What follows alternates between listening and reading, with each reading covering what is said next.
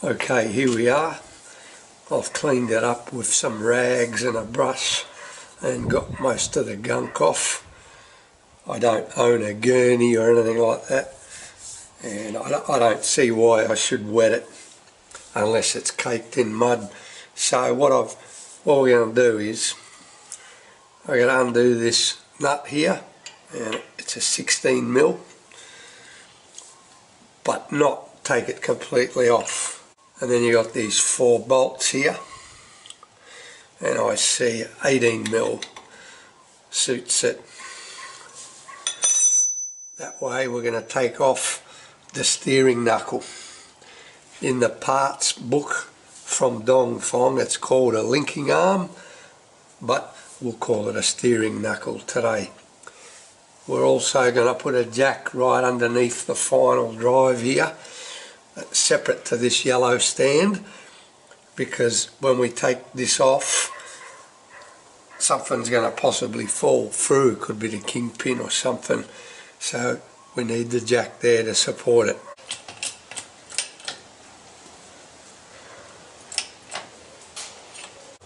Alright, as I said, 16 mil at the top.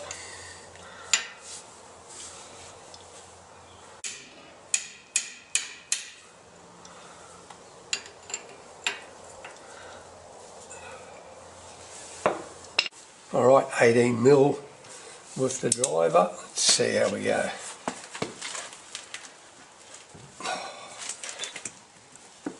Jesus.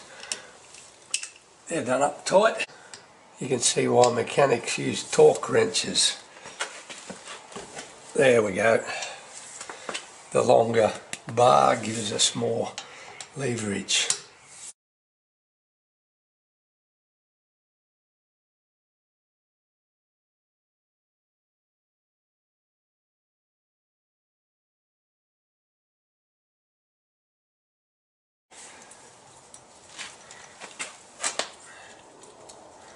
I'm not quite sure what's going to fall out here, but my feet are out of the way. Safety first.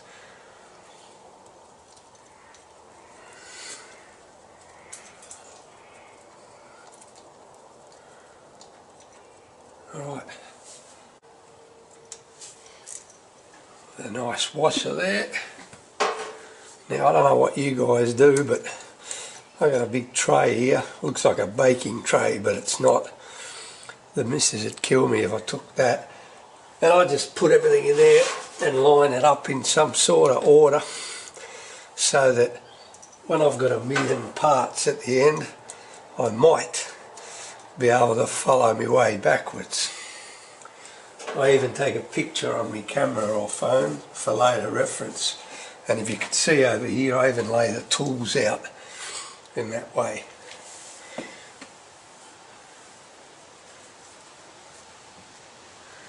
Not sure what happens here, we shall find out.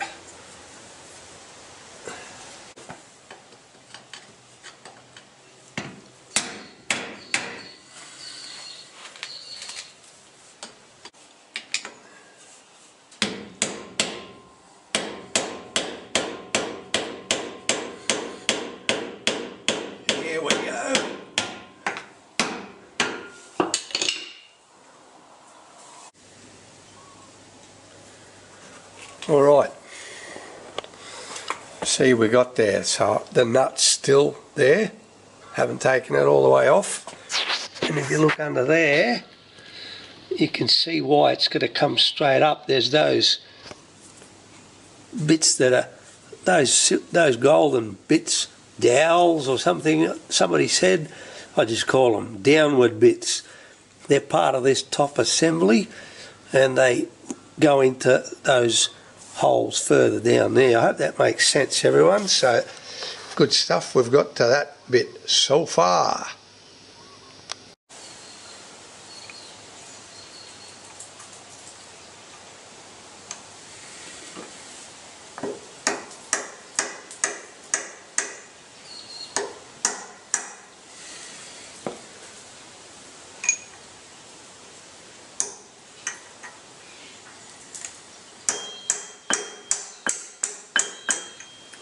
Want you to twist around, I want you to get up. Oh, well, see what transpires. Moving. Aha!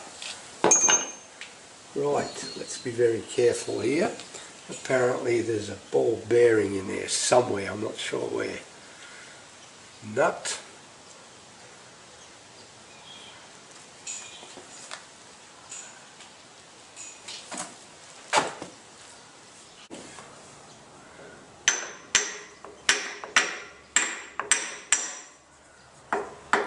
Are you going to come off?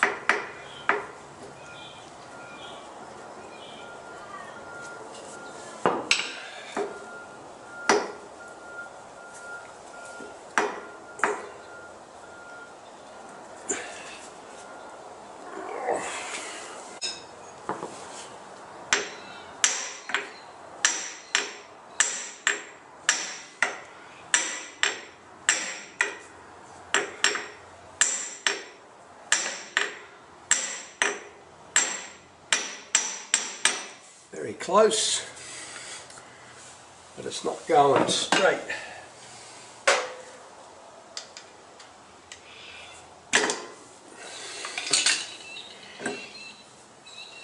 Right what lives under here? You can see grease in there. Put the nut back on top so I remember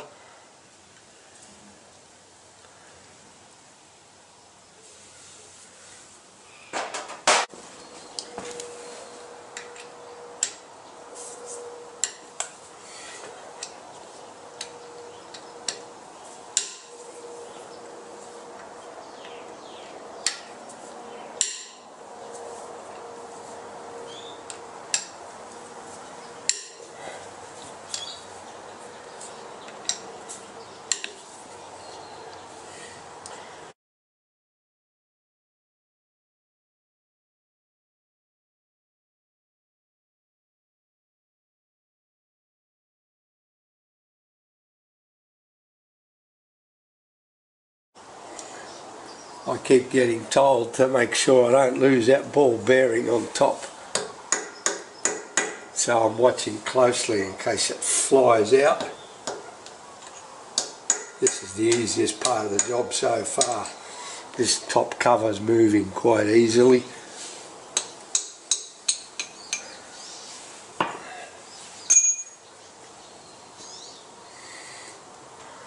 Alright, can you see the ball bearing in there? Right, so we seem to have a cover. And it's like that, and I'll get a picture of what's in here. All I can say is gulp with what I can see in here. Alright, have a look at that. There's some serious stuff in there.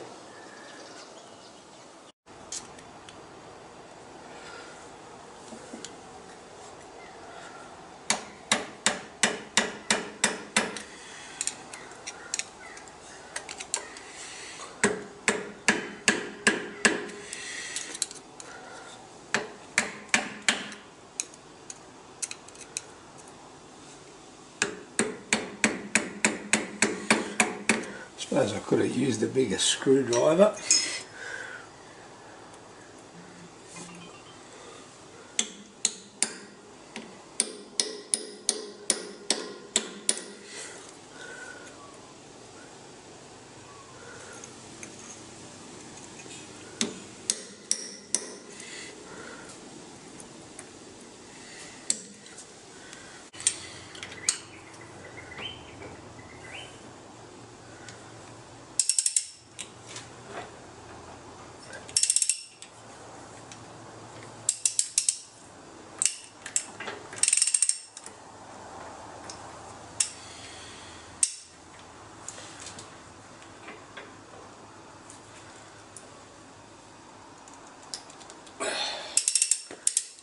Very interesting.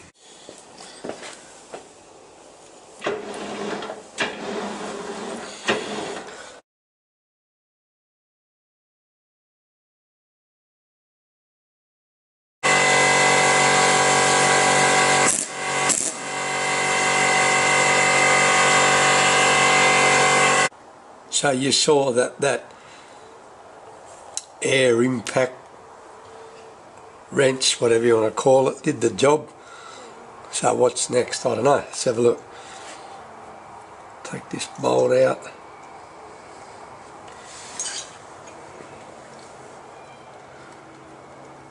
It's as if something's going to fall apart. Not at all. And there's that uh, lock washer as they call it.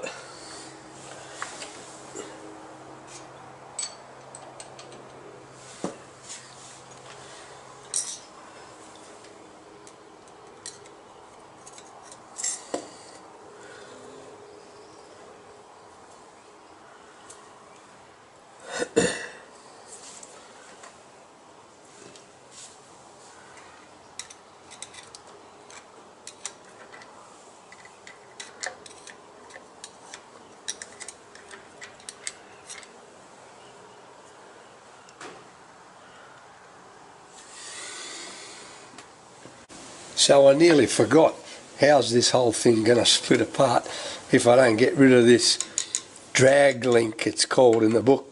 I thought it was a steering arm and we start by undoing this nut here so let's give that a crack. So we've got a split pin in there.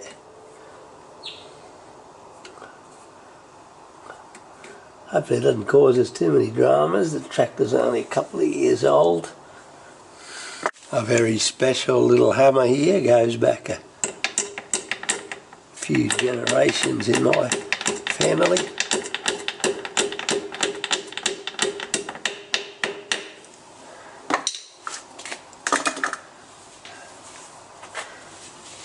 I'm not left-handed so this is awkward. Okay let's put that somewhere separate. 21 mil Wish everything else was that easy. You beauty. So I'm just undoing that till there's only a little bit of thread left. One I've been told. That'll do, that's close enough.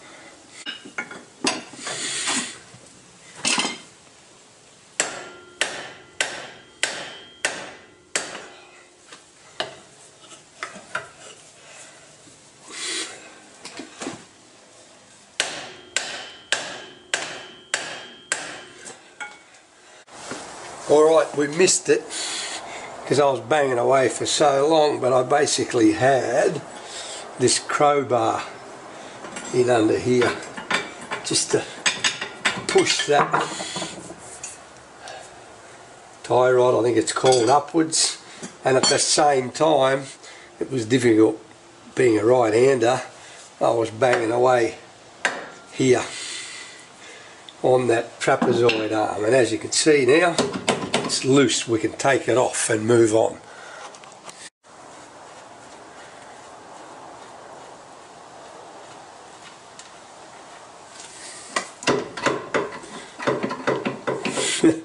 And another problem we have now as you can't see is all the way down here the bar is hitting the bottom of the just just back from the diff where the drive shaft comes out Anyway, it doesn't matter because once we drop this, it'll all drop away.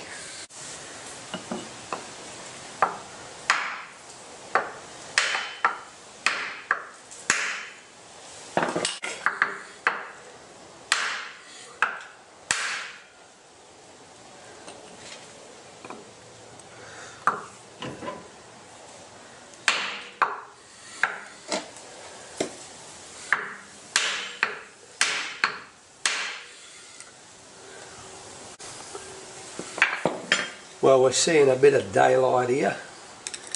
The jack's not right on there. So that's not what's stopping it.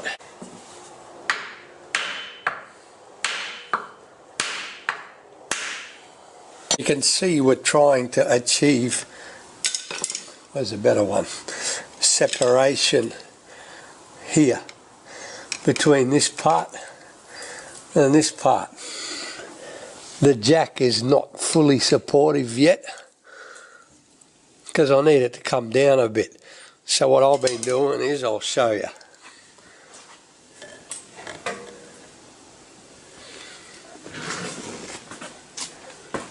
a lot of this this is all I can think of.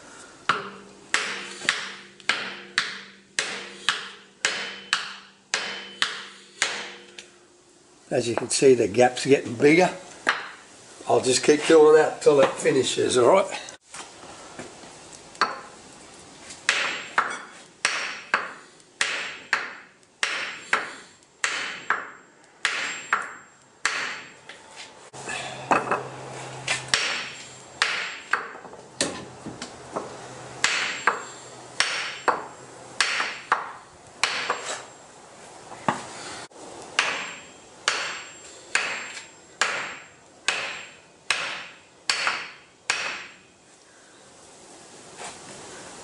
Go, we must be close.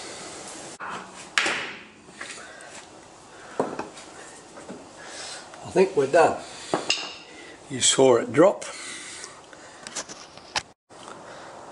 So we're going to drop the jack now a little bit so we can break here. Slowly.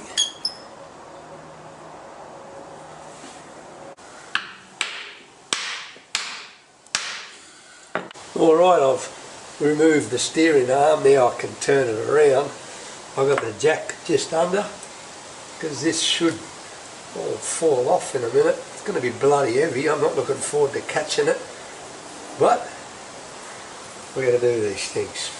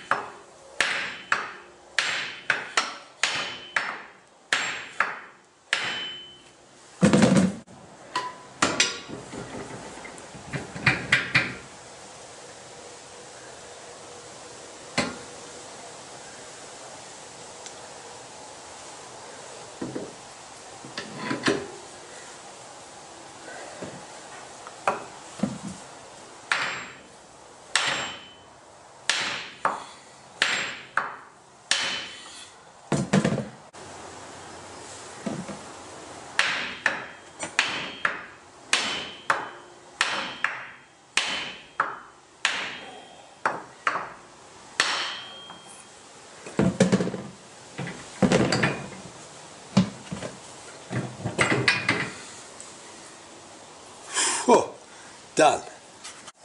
Alright, we're done. Jesus. There was some banging and crashing there. anyway, so there's the top part and there's the bottom part. And now we know why there was a jack to be used. This whole thing here weighs a lot and you don't want it falling onto the deck or onto your feet. And there's a lot of delicate stuff in here. Okay we're done there. We'll put that up onto the bench. For a better look